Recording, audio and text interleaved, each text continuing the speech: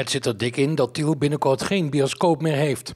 De huidige exploitant, Acaplex uit Spijkenisse, heeft de intentieovereenkomst met de gemeente Tiel laten verlopen.